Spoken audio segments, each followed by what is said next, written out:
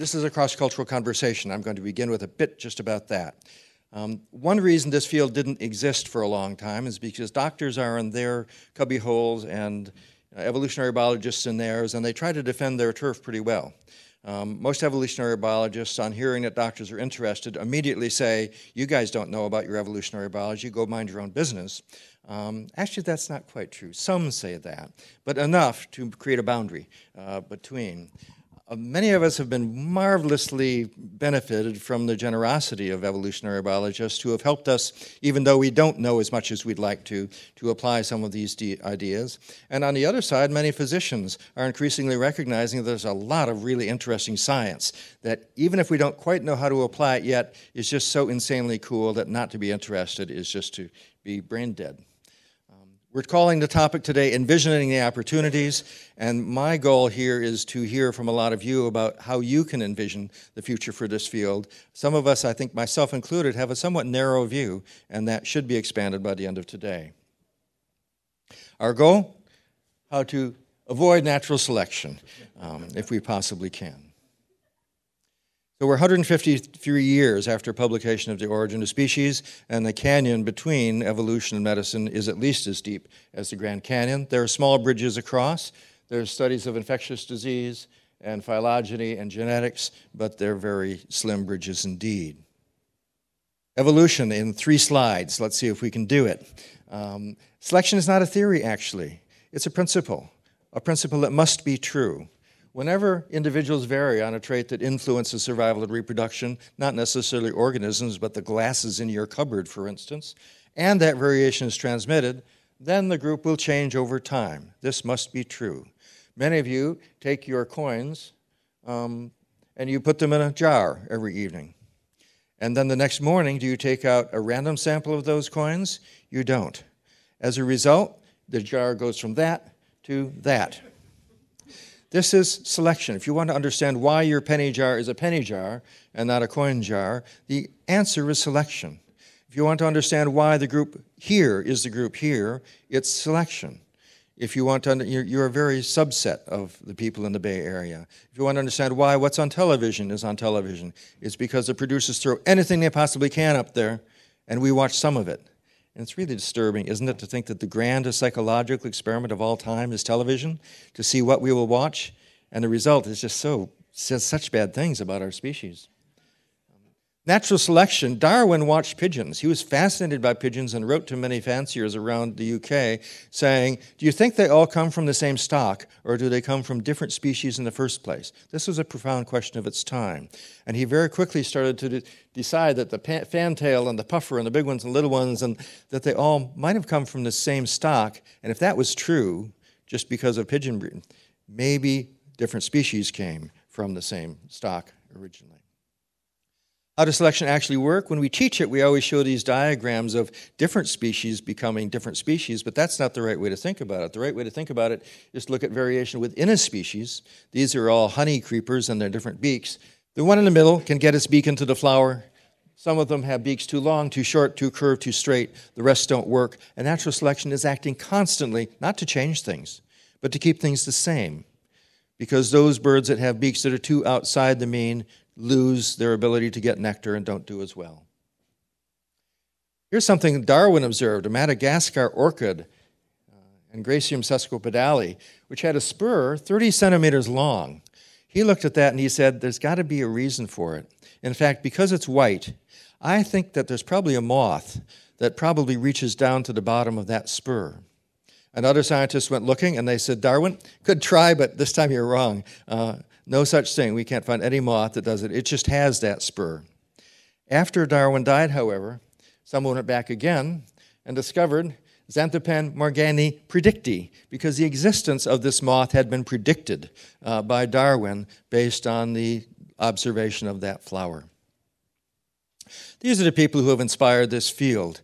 Most of all, the tall man, George C. Williams, has been my friend and colleague for many years, and I miss him so dearly. He died two years ago.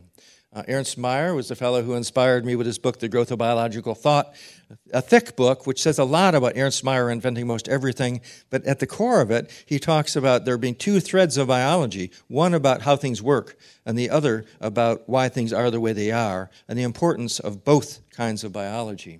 John Maynard Smith, another dear friend, recently passed away who inspired many of us applying game theory and deep thinking to every area of evolution. And finally, Niko Tinbergen, who emphasized that there are four different questions we need to answer in biology. This is where I really feel my biology education got going, and I wish it had been before medical school instead of after. There are two kinds of questions we need to answer. One, proximate ones, how does it work? The other, evolutionary ones, about how did it get that way? These are separate questions, not alternatives. Most important single distinction in biology, in my opinion. And Ernst Mayr says it clearly in his book. He says that no biological problem is solved until both the proximate and the evolutionary causation has been elucidated. Furthermore, the study of evolutionary causes is as legitimate a part of biology as is the study of the usually physical chemical proximate causes. I read that and I thought, oh my God, I'm a doctor and I've only been using one half of biology. In fact, all of medical research has only been using one half of biology. We have a lot of work to do. It also became clear to me about that time that there was something mysterious I was observing. My first years of medical school, I was just in awe of the body. The, the nephron, I mean, oh my God, it's so incredible, the nephron.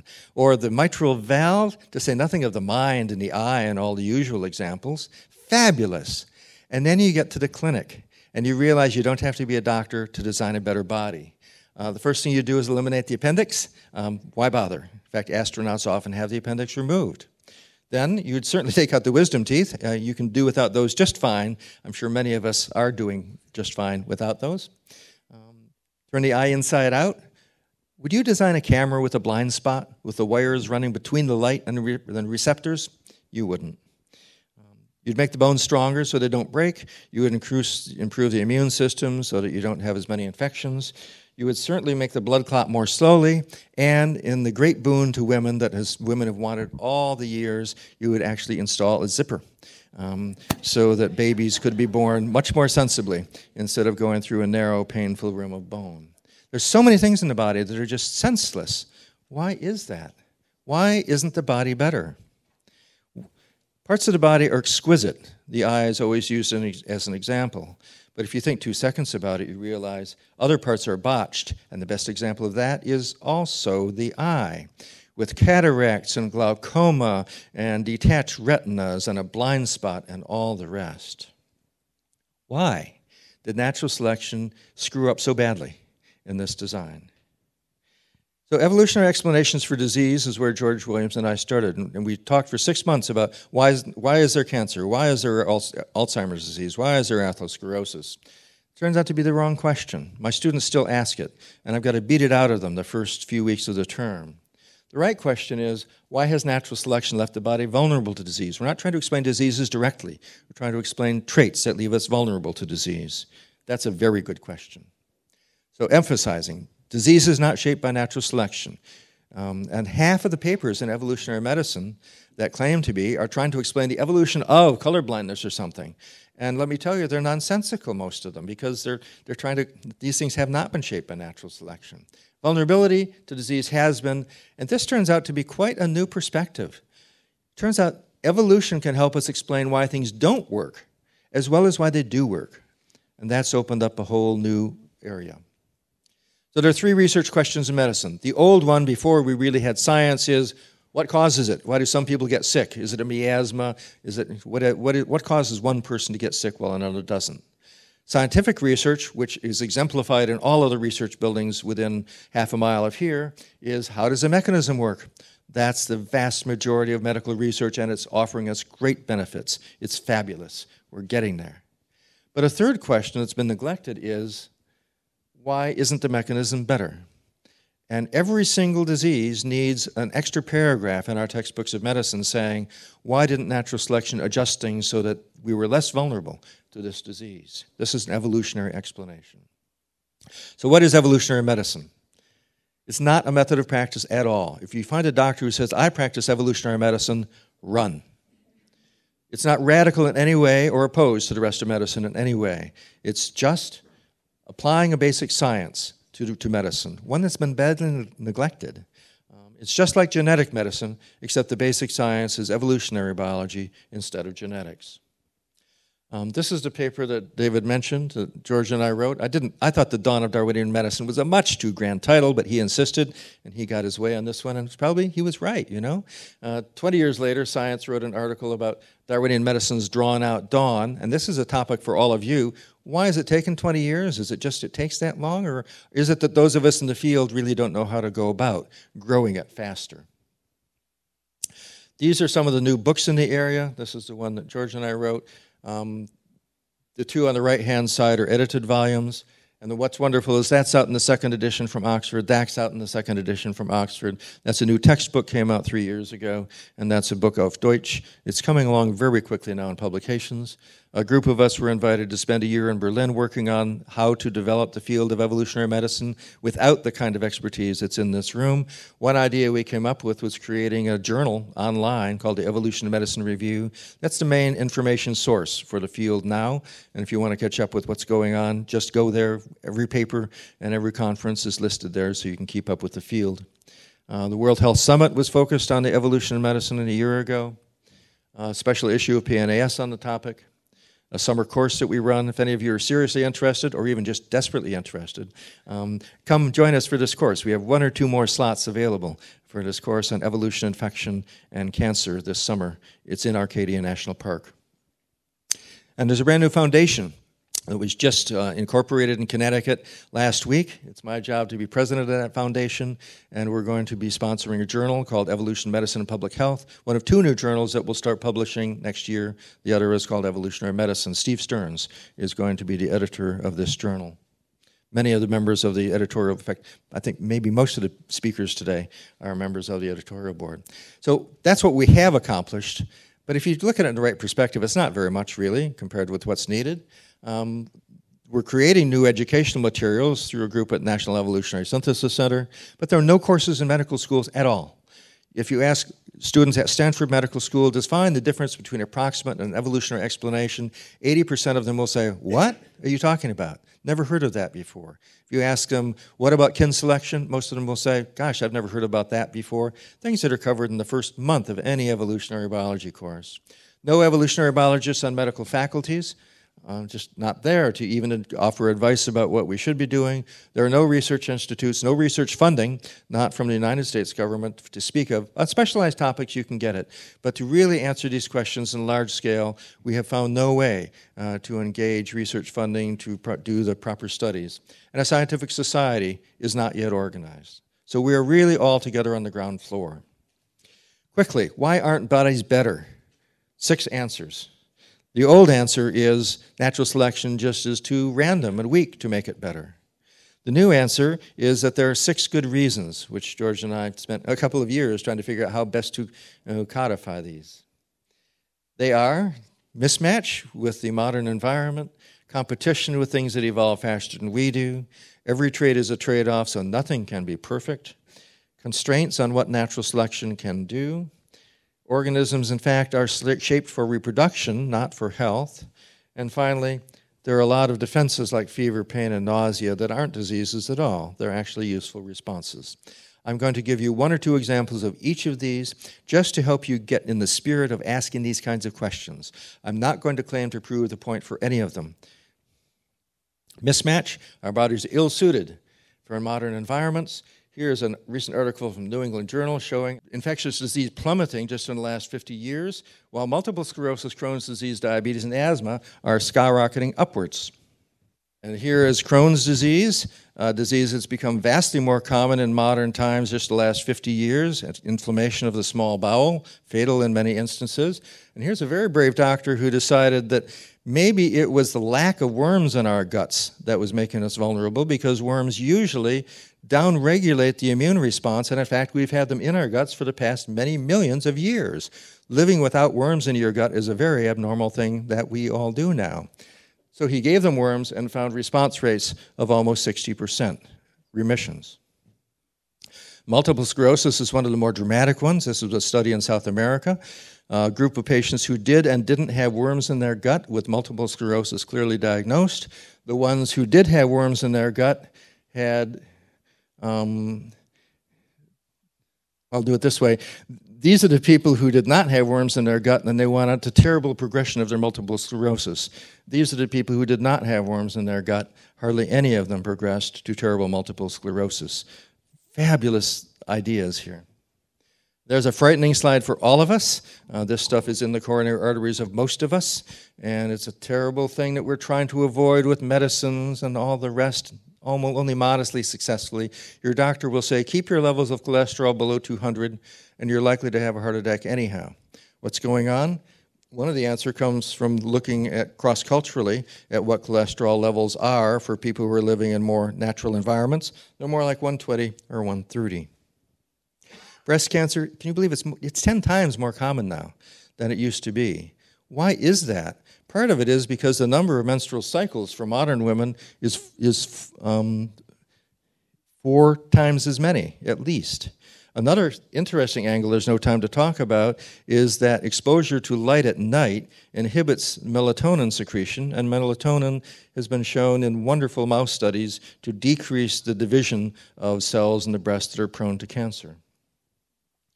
Nearsightedness is one of the things that preoccupied me all through medical school. It's a heritable disease. The variation in, nearsightedness is almost entirely genetic, so why didn't natural selection eliminate those genes? I asked my professor that, and he said, Nesse, you've got to get used to it. Natural selection just can't do a lot of things. And I said, so I'm on this African savannah, and I'm saying, hello, kitty. Um, no, that just doesn't make any sense at all. Uh, it turns out that it's not a genetic defect, that if you don't read early in life and you have a normal ancestral diet, you will not get nearsightedness no matter what genes you have. This is what we should te be teaching our students. Everything is genuinely gene environment interaction. Something, something can be 100% genetic and 100% environmental at the same time. And here's one for you. Um, diabetes type 1 genes turn out to be more frequent in Northern Europe than Southern Europe. And there are many animals that have high levels of glucose in their tissues to protect their cells from ice damage when they freeze in the winter. And one author decided that this was the explanation for type 1 diabetes genes. It was the ice age.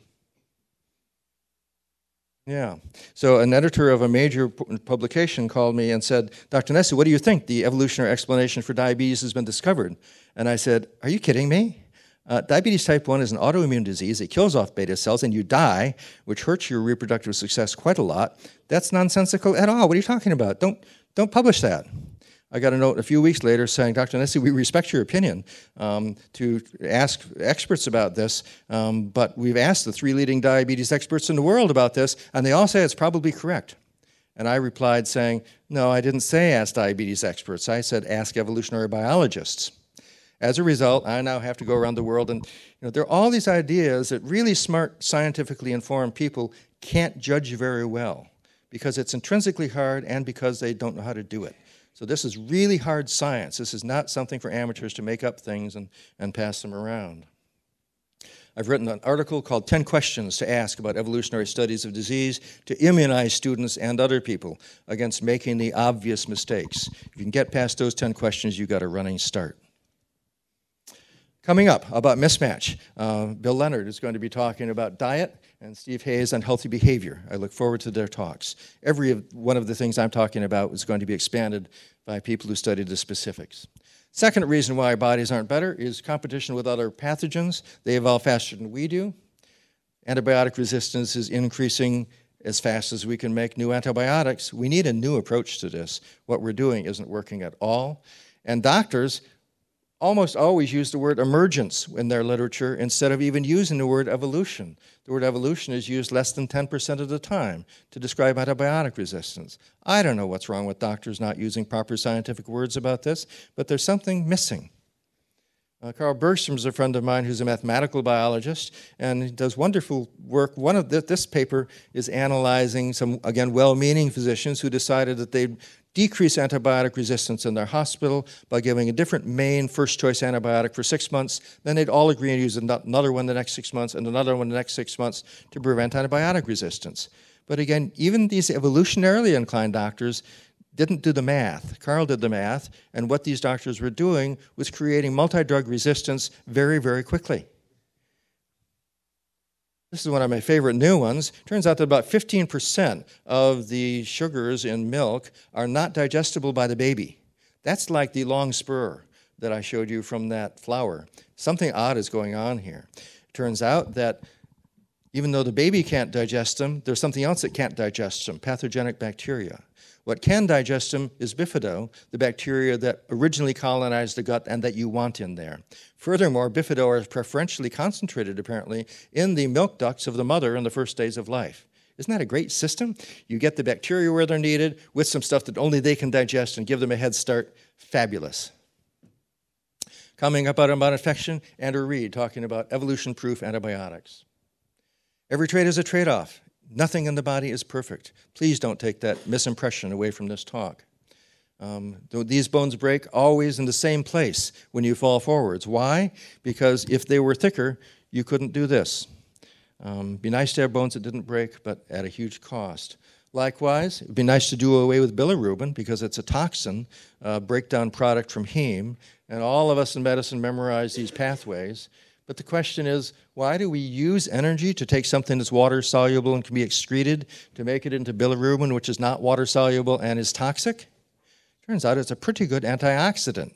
So, can you test these ideas or are they just so stories? You can test them. In this case, Charles Snyder and his group knocked out um, the gene that makes that cycle go around, and cells die quite quickly from oxidative damage.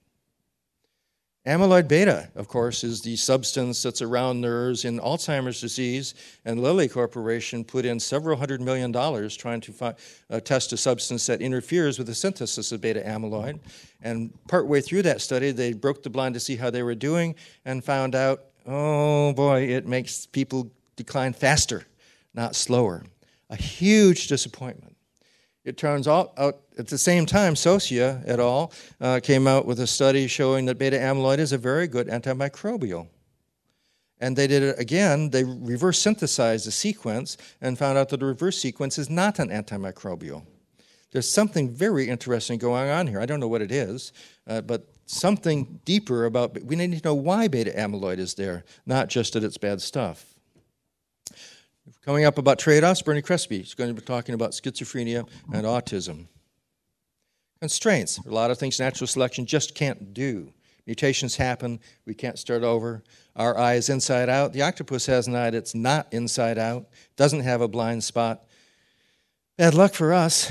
Can't go back. You can't have, you know, 10,000 blind generations to switch it back again. Cancer is another example, and we have two speakers who have just come in the door. I'm glad to see Athena Aktipis and Carlo Maley uh, from UCSF. Um, they're going to be talking about why on earth we can't have natural selection totally eliminating cancer. Not possible. If you're going to repair tissues, you need things to be capable of having cells that divide. And this is an article Mel Greaves and Carlo Maley recently published. Um, looking specifically on applications of how we can understand selection within a tumor.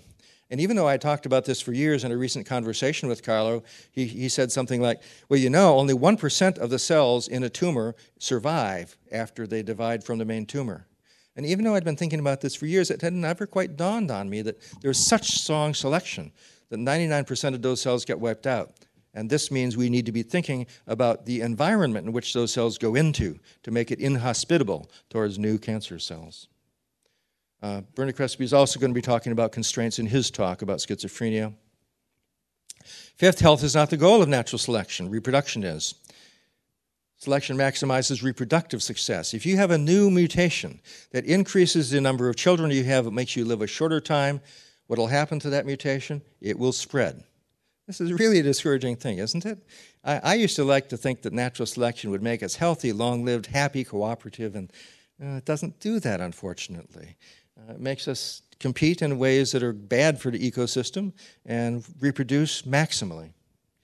It also made me work on aging and the feeble sex. Williams in 57 wrote the paper that inspired all of my work about why natural selection leaves us with aging. What happens to a gene that kills everybody by 120 but gives a selective advantage earlier in life? Got selected for. And in fact, if you look at the current age distribution of people, everybody's dead by age 100. But if you had the mortality rate stay the same throughout the entire lifetime as it is at age 20, about a third of us would live to age 1,000. Be kind of nice. Uh, and we'll hear later about how we can move a little bit towards that. As for the vulnerable sex, I presume you know who you are. If you visit your elderly parents in a nursing home and sit down at lunch, you were sitting down mainly to a lunch with women uh, because we men go faster. Why? Is it just in modern societies? Uh, when I asked this question and tried to find the number, I couldn't find the number I wanted. Seven years younger we die on the average. But what I did find is a World Health Organization database that gives mortality rates by age, by sex, by country, and even by decades going back 150 years. And Dan Kruger and I have published a couple of papers on this. This is the result for 20 countries, showing that for every 100 men who die in, the, in, in these countries, 150 women die between the ages of 0 and 10. By the time you get to puberty, it's 300 women, women 300 men die for every 100 women who die. Isn't that something? That men die three times faster than women in all of these countries? We've done further studies looking at these differences between countries, and they're evolutionarily interesting as well. Coming about, about aging, one of the world's experts, Steve Austad, telling us the latest about an evolutionary view of aging. Finally, last explanation for why our bodies aren't better is not really why our bodies aren't better, it's just doctors' misunderstanding. Most of the problems people bring to physicians are not diseases, they are symptoms like pain, fever, nausea, vomiting, and all the rest. Um, they're very different from defects in the body like paralysis, seizures, jaundice, injury, and cancer. Two really different kinds of things. Doctors intuitively know this, but they don't always get it right. So, what would it be like to not have a defense? How about living without pain? Doesn't that sound great? Except that people who are born with no capacity for pain are almost always dead by their mid 30s. Not so good, actually. Um, so, how does selection shape mechanisms that regulate defense? I got very serious about this. I thought, oh my God, I'm a doctor, and what I'm doing with my life is blocking normal defenses. Am I hurting people? How can I analyze this? And the right way to analyze this is with signal detection theory. And you essentially look at the costs and benefits of expressing or not expressing a response in the face of the probability that the danger is actually present. I'll skip that, but you can actually plug numbers in here quite easily about the signal to noise ratio and the prevalence of the danger in that environment and the cost and benefit of the response. Let's make it concrete. Um, you hear a little noise behind a rock at an African watering hole, and it's about like this. It's not loud enough to be a lion. It could be a monkey, it could be some monkey burping or something. Do you run home or do you go and get water for your family after all? How do you calculate it? Well, it depends on how often lions have been spotted in the area and the costs of fleeing, 200 calories we'll say, and the cost of not fleeing if there's a lion there. That's 200,000 calories. So, how can you do the calculation? This one's very simple, actually. It means that you should flee whenever the noise behind that rock is loud enough to indicate that there's a greater than 1 in 1,000 chance that a lion is behind that rock. This means that 999 times out of 1,000, running away and having a fight, flight response, and panic attack will be perfectly normal but utterly unnecessary. This changed my practice of psychiatry and treating people with panic disorder. They kept going into the grocery stores having panic attacks. I said, hey, listen, you've been in that grocery store 10 times. You know it's safe. And they said, yeah, doctor, but I keep having panic attacks. Now I finally understood why they kept having panic attacks. The mechanism is designed to go off whenever the net benefit in the long run is positive. We call this the smoke detector principle, and I think it's one of the more useful clinical applications of evolutionary biology and medicine. We put up with smoke detectors because we tolerate the false alarms in order to get the benefits of it going off every single time there's a fire. This is why the general practice of medicine is possible safely. This is what general physicians do mostly is block normal defensive reactions to relieve suffering, and it's a good thing. But you've got to watch out for that one time in a thousand when you shouldn't have blocked your defensive response. Doctors know this also. Coming up about defenses, uh, June and his colleagues are going to be talking about how defenses are altered by medications. So, why isn't the body better? Six good evolutionary reasons mismatch, uh, infection, trade offs, constraints, selections for reproduction, not health, and the smoke detector principle. Conclusions traits that leave us vulnerable to disease need evolutionary explanation. Again, not diseases, but traits that leave us vulnerable to diseases. Evolution also offers much more. What I've been telling you today is the work that George Williams and I developed, but there are all these other areas of evolutionary application medicine which are also profoundly useful, such as phylogenetic methods for tracing pathogen evolution, and broader than that, just a feeling for the organism. It's not a machine, it's nothing like a machine, really. It's something very different. And even those who are doing whole genome studies now still often seem to have the idea that we're going to find the gene for something, but the more you get into it, most genes are for many, many different things. Three cautions. Uh, the first is that evolution does not tell doctors what to do and should not. Evolution tells you what research to do. That's why it's at least as useful for public health as it is for medicine. Then, many evolutionary hypotheses are wrong, just as they are in every other area of science. And the methods we use for figuring out which are right or wrong are unfamiliar to many physicians, and it's very hard scientific work. I'm very worried about this field being run away by people who really don't know what they're doing. I think we need to be appropriately critical for every one of these. It's a difficult area of science. Bottom line uh, evolution is a basic science that's only now being applied to medicine. And those of us who are trying to do it would greatly appreciate some help to figure out how we can do it better, how we can spread the word, and how we can encourage really rigorous research, which I'm pretty sure will actually improve human health. I, mean, I got into this just because I found it so fascinating. But the further I go and the more I listen to people like my colleagues who are going to be giving the subsequent talks, I realize that this is actually very serious business that can be enormously beneficial for human health, and we're just getting started. I'd like your comments about how we can let doctors know about the opportunities, how can we develop a social network that encourages enthusiasm along with appropriate criticism for good science, and basically, what can we do to better develop the field. More information at my website, and my hope is that these bridges will grow broader very quickly. Thanks very much.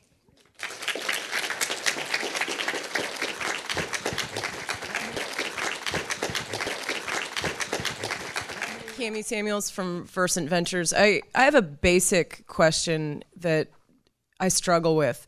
For women over the age of 45, presumably post reproductive, are they living a post selection life? And, and w- what are the evolutionary pressures on them? Great question. There's a slide I left out actually about all the Nobel Prize winning scientists I heard on panels um, across the world in the, in the great Darwin year of, of 2009. And one of them, actually, two or three times I heard people say, Gosh, um, seems to me that nothing matters after menopause. But kin selection means that you have the same genes as your children. And if you do something at age 70 that increases your child's risk of, uh, of, death or your child's likelihood of survival, you are doing things that increase the likelihood that your own genes will go on to the next generation. So, kin selection explains why you can do things after menopause that still benefit your genes. As for the reason for their menopause at all, at all it turns out not to be just things falling apart. Uh, very few organisms have menopause. The vast majority are very pro social mammals, uh, humans and right whales and, and a few others. And it's a very good issue that George Williams put in his 1957 paper about why menopause exists. Great arguments, no resolution of that question yet. Wonderful question. Um, but given that women are living so much longer, will there be selective pressure for a prolonged optimal fertility window uh, over time? Yes, there will. And Steve Austad will be talking about that. These experiments have been done, actually, in mice and in uh, flour beetles and in flies. And I presume the same thing's happening in humans, but it'll probably take not just a few thousand years, but a few tens of thousands of years. Uh, but he'll have a better idea. Do you want to address that now? First?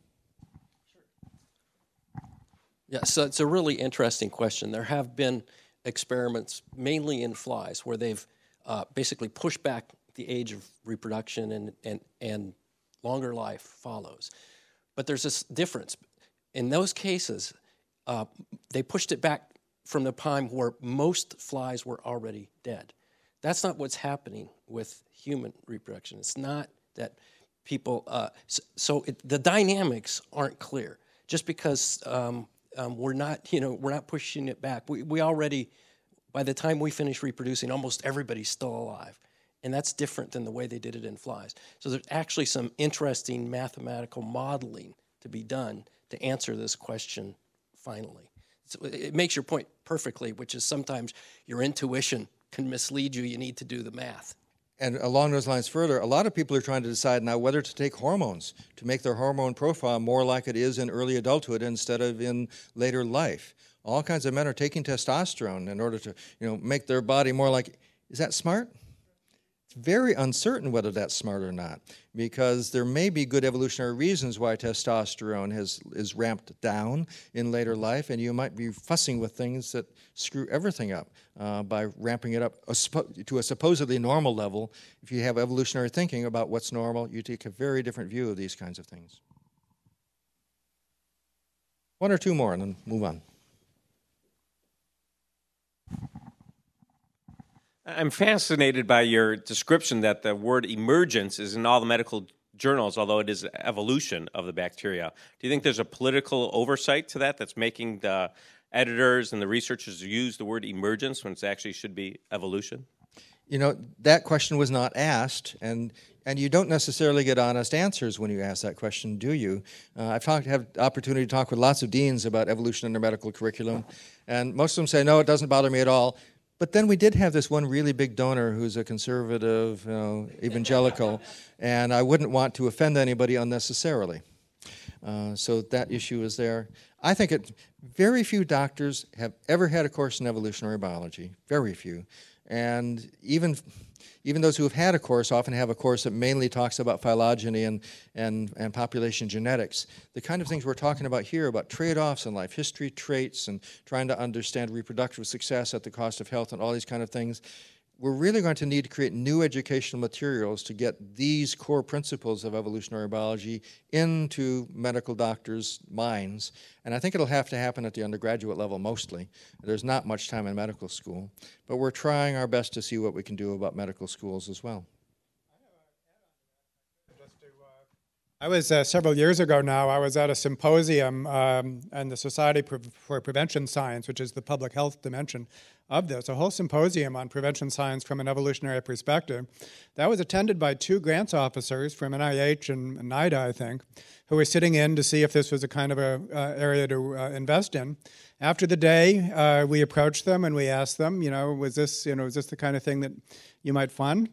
And they said, well, it's really interesting, but they advised not using the word evolution because it was so unfamiliar. And it's really more a matter of conservatism than bias, I think. I think that uh, these this is a population which is not opposed to evolution in any way at all, but it's also conservative, and it's out of the box. Uh, even to use the word, I think that might be part of the part of the answer. Along those lines, if I might add, sort of following up on, on Randy's point about catching students during the undergraduate years. This is critically important. By the time they reach medical school, it's in some sense too late.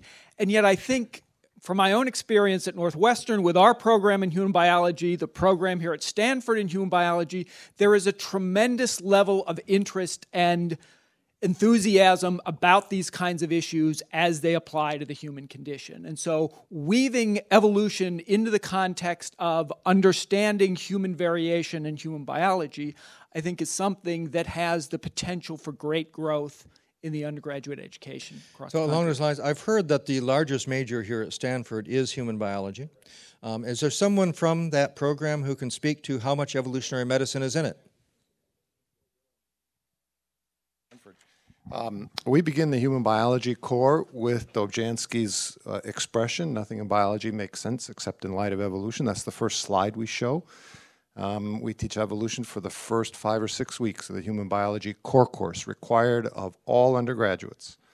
Um, they read on the origin of species, parts of it, not all of it, because it could kill their interest, some of it.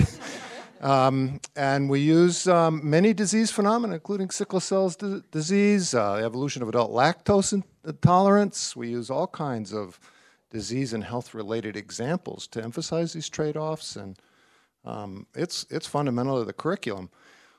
We were invited to do a version of the human biology curriculum for the middle grades of the United States. I was asked to co-author the chapter on evolution, and we were we had a, a draft, and we were asked to leave out the E word. And uh, so we tried using experiments with, we tried using pets. Do I see Genie Scott there? Pigeons. We, we, we probably we probably should not take excess time. I don't want to go on. Debbie, you can give us the. Uh, um, D- Daniel Fisher from uh, um, uh, Stanford. I guess I'm theoretical physicist, basically. But it, it seems to me one of the big problems with the way that evolution is taught is it's tended to be taught as a subject in which most things are understood, rather than a subject in which a large number of things aren't understood. And of course, some of that is response to the uh, um, creationists and so on. Um, but it seems to me very um, problematic, and I think even the stage when we're even things like timescales for antibiotic resistance to arise, and really what the root of that is, is not understood. That um, one has to be you know, much more honest about this and emphasize much more of that in the uh, teaching as well. Good, good. Last comment or question?